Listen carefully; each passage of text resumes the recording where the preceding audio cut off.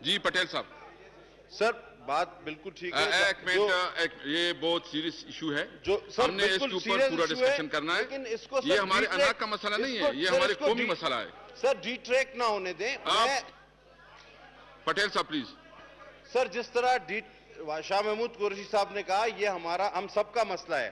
لیکن یہ مسئلہ بیان کرتے ہوئے مختلف الزامات جو بالکل بے بنیاد ہیں۔ مثلا آپ نے کہا کہ سترہ ہزار ملازمین وہاں پر ہیں اور اس میں زیادہ تر گوسٹ ہیں یہ منسٹر صاحب کا فلور آف دی ہاؤس پہ سٹیٹمنٹ ہے اور یہ بہت حد تک ٹھیک ہے۔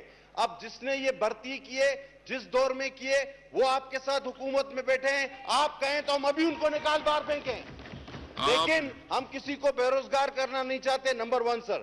Number two ہمارے علاقے ٹیل میں ہیں کراچی کے۔